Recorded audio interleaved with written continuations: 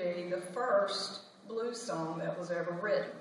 And it's just two little verses, and I don't usually sing, especially after I talk all day long.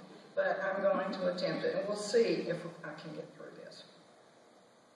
And you know what? I probably need to put this on because this thing weighs about an ounce, and the other one weighs a pound, and it might just fall. Okay, Joe Turner.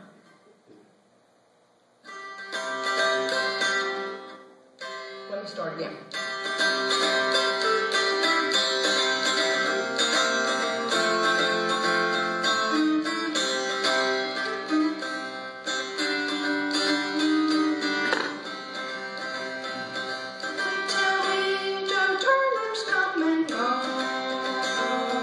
They tell me Joe Turner's come